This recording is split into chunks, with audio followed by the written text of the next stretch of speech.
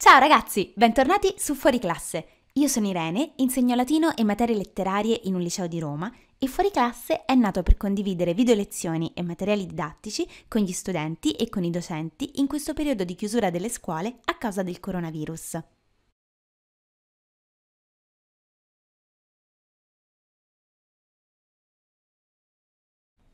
In questa video lezione correggeremo insieme alcuni esercizi sul complemento di fine e sul doppio dativo.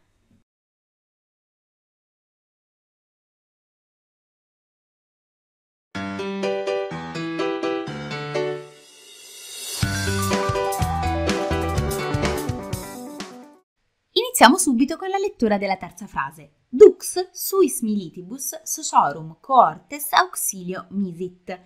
In questo caso il verbo si trova alla fine della frase ed è misit, indicativo perfetto terza persona singolare attivo di mitto, mittis, misi, missum, mittere. Quindi vediamo che è un perfetto sigmatico. Mitto significa mando, quindi possiamo tradurlo inviò e cerchiamo subito un nominativo singolare che identifichiamo in dux.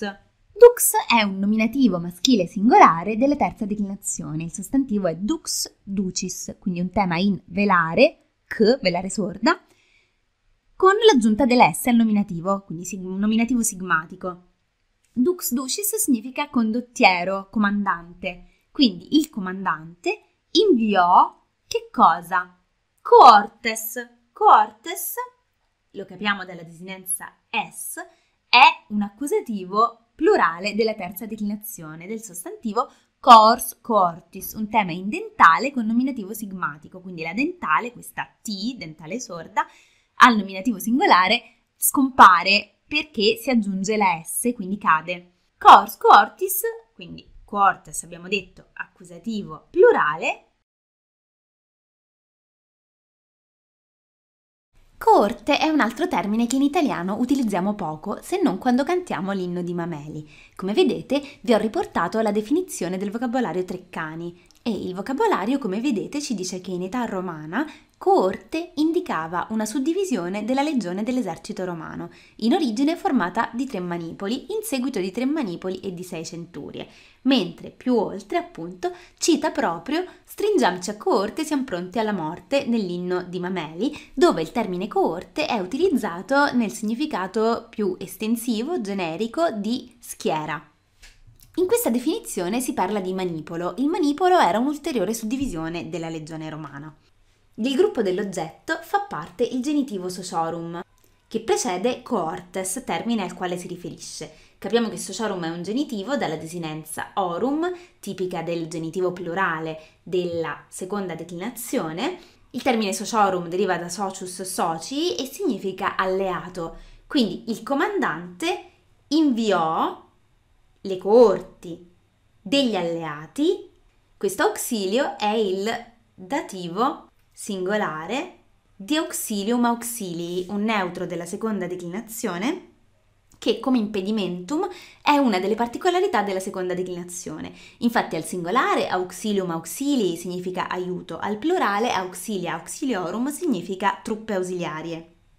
Ed è in questo caso il dativo di fine che ci aspettavamo nell'ambito degli esercizi sul doppio dativo. Quindi il comandante inviò le coorti degli alleati in aiuto, in aiuto per chi? Qual è qui il dativo di vantaggio in questo caso? Perché auxilio, a differenza di impedimento, ha un significato positivo naturalmente. Bene, il complemento di vantaggio in questo caso è militibus, Vedete ibus di nuovo come nel caso di civibus è la desinenza del dativo plurale anche dell'ablativo, ma in questo caso stavamo cercando proprio un dativo, della terza declinazione del sostantivo miles militis, che significa soldati.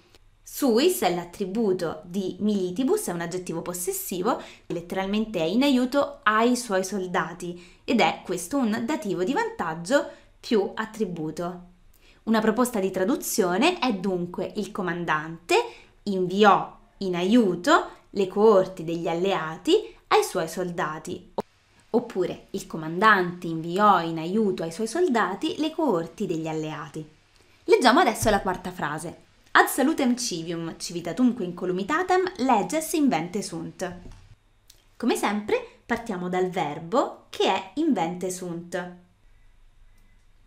Invente sunt è un indicativo perfetto passivo terza persona plurale del verbo invenio, invenis, inveni, inventum, invenire, che significa scoprire, trovare e composta da sunt, quindi dall'ausiliare sum, coniugato alla terza persona plurale, più il participio perfetto invente. Grazie alla desinenza e del participio perfetto, sappiamo fin da subito che dobbiamo cercare come soggetto un nominativo plurale femminile, perché sunt già da solo ci dà l'informazione grammaticale che il soggetto è plurale o che abbiamo due o più soggetti singolari.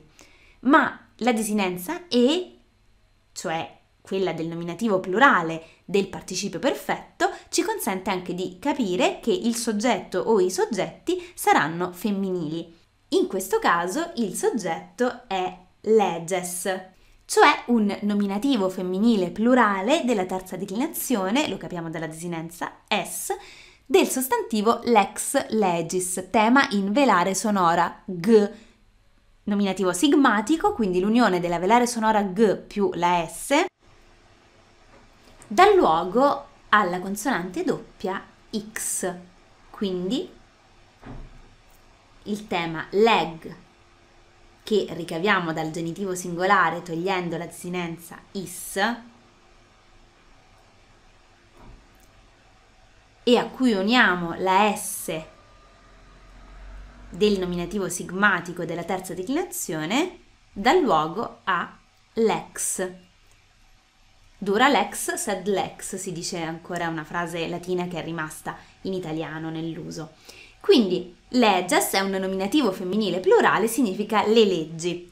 Le leggi furono inventate oppure sono state inventate, possiamo tradurlo anche con il passato prossimo, con che scopo? Ad salutem civium. E la preposizione ad più l'accusativo salutem è lo stesso sostantivo che abbiamo incontrato qualche frase prima, questo salus. Salus è il nominativo, salutem è l'accusativo. Vi ricordate significa salute, salvezza, sicurezza.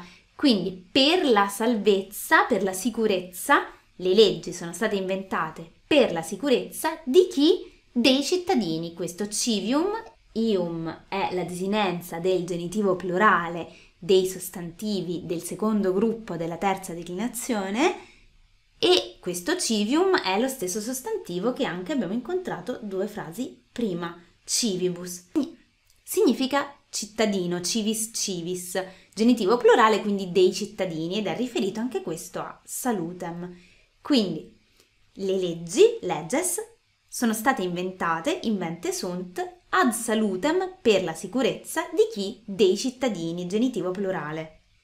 E vedete che qui c'è questo que, che è un'enclitica che possiamo spostare graficamente con una freccia tra i due genitivi civium e civitatum e trasformarlo in un et Bene, l'enclitica que ci consente di congiungere, in quanto congiunzione copulativa, salutem civium e civitatum incolumitatem. Perché?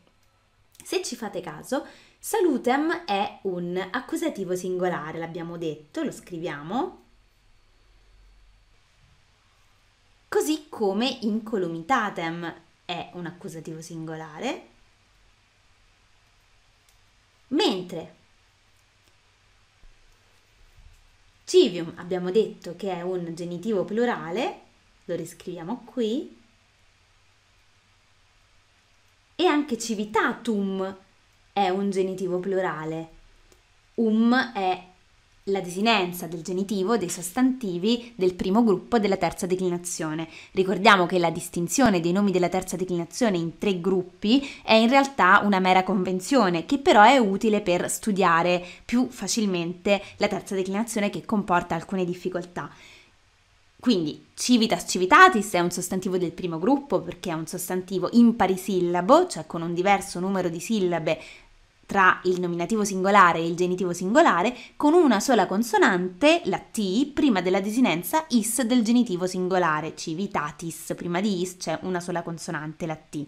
Mentre civium, cioè civis, civis, è un sostantivo del secondo gruppo che è costituito da nomi parisillabi, per l'appunto civis, civis, con lo stesso numero di sillabe tra il nominativo e il genitivo singolare, e dagli impari sillabi con due consonanti prima della desinenza is del genitivo singolare. Quindi desinenza ium di civium, desinenza um di civitatum. Perché abbiamo detto che la costruzione che abbiamo appena visto è chiastica? Il chiasmo è una figura retorica che deriva il suo nome dalla lettera greca chi. La chi è una lettera che somiglia a una x con i due tratti leggermente più allungati e il chiasmo deriva il suo nome da questa lettera per via della sua forma incrociata. Infatti il chiasmo è una figura retorica che consiste nell'accostamento di due membri che sono concettualmente paralleli, in modo però che i termini del secondo membro, quindi di quello che viene dopo, siano disposti in ordine inverso rispetto ai termini del primo membro. Per fare un esempio in italiano, tratto dalla commedia di Dante, Ovidio è il terzo e l'ultimo è Lucano. Quindi alla nostra frase, come vedete abbiamo una costruzione a x, o meglio a chi. Proviamo a riprodurla. Se consideriamo questo et il centro della costruzione chiastica, come vedete i due accusativi singolari sono agli estremi opposti l'uno rispetto all'altro e in mezzo abbiamo i due genitivi plurali. Se avessimo avuto invece una costruzione parallela, quindi un parallelismo anziché un chiasmo, la struttura sarebbe stata la seguente. In questo caso, come vedete, il genitivo plurale all'interno dei due membri occupa la stessa posizione e la stessa posizione occupano i due accusativi singolari. Quindi bisogna considerare questo come primo membro e questo come secondo membro. Nel primo esempio, l'esempio A, chiamiamolo quello con la costruzione chiastica a x, la posizione dei due termini del primo membro è invertita rispetto alla posizione dei due termini del secondo membro. Quindi nel primo membro abbiamo prima l'accusativo singolare seguito dal genitivo plurale e nel secondo membro prima il genitivo plurale seguito dall'accusativo singolare. Mentre nell'esempio B, dove abbiamo una costruzione parallela, i due termini del primo membro seguono lo stesso ordine dei due termini del secondo membro, genitivo plurale accusativo singolare e di nuovo genitivo plurale accusativo singolare. Quindi torniamo alla traduzione. Le leggi sono state inventate per la sicurezza dei cittadini e questo incolumitatem è anch'esso un accusativo singolare, sempre della terza declinazione, così come salutem da incolumitas incolumitatis ed è retto dalla stessa preposizione ad, quindi è un altro complemento di fine. Quindi per la salvezza dei cittadini e per l'incolumità, cioè la salute, di chi delle città, in questo caso civitatum è il genitivo plurale che si riferisce però a incolumitatem. Avrei dovuto cambiare colore, mi dispiace non ci ho pensato immediatamente, spero che nonostante la confusione dei tratti si riesca comunque a capire che civium è il genitivo riferito a salutem, mentre civitatum è riferito a incolumità. Una possibile traduzione di questa frase è le leggi sono state inventate per la sicurezza dei cittadini e per l'incolumità delle città. Bene, per il momento ci fermiamo qui. Nella prossima video lezione spiegherò come tradurre le due frasi successive. Se questa lezione vi è stata utile, ricordatevi di iscrivervi al canale e di cliccare sul simbolo della campanella per ricevere sempre le notifiche delle prossime video lezioni che verranno pubblicate. A presto!